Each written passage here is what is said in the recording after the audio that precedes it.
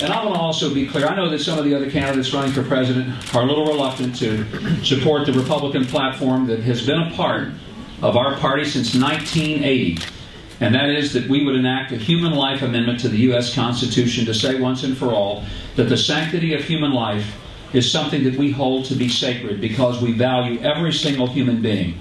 I don't want to just say that I would support it if somebody delivered it to me and stuck it in front of me. Folks, you need a president who won't just say he'll support important things. You need a president who will promise to you he will lead important things. And on that issue, I lead.